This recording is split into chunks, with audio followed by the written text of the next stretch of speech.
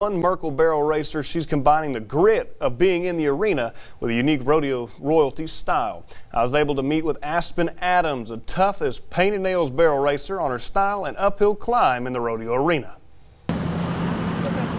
It's that bright red felt Rodeo King hat that you see first. Or maybe it's the shimmery gold shirt with cactus blossom crowns on the cuffs. And if you look closely at the tack on her horse named Prada, ironically it's the Louis Vuitton halter that matches her belt.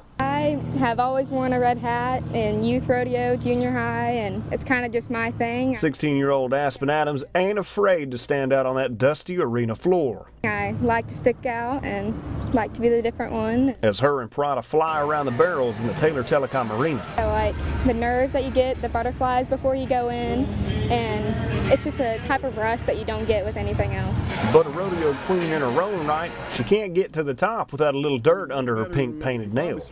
She and some friends were on a golf cart and um, she fell out and hit a T-post in the middle of her back. Fracturing the T1, T2, and T3 thoracic vertebrae in her upper back at 14 years old. She actually competed in a couple of rodeos um, the next couple of weeks before she found out that that's what was wrong. But injuries like these show just how tough she really is. And that's just one thing that everyone can say about Aspen is she's been fearless since day one. Now fully healthy, she's getting to compete in her first finals competition ever in her own backyard.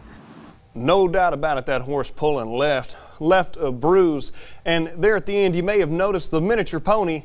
Well, her name's Pumpkin, and she travels everywhere with the Adams. Aspen says Prada deals with a high level of stress, so Pumpkin acts as her emotional support companion.